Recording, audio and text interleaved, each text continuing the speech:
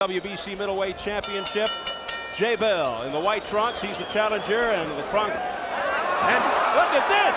A big left hook to the body, right in the solar plexus. Remember, those, those are kind of shots that take your leg out, that take your guts out.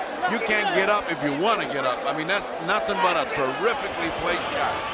We just did receive a word that this indeed was the fastest knockout in middleweight championship history.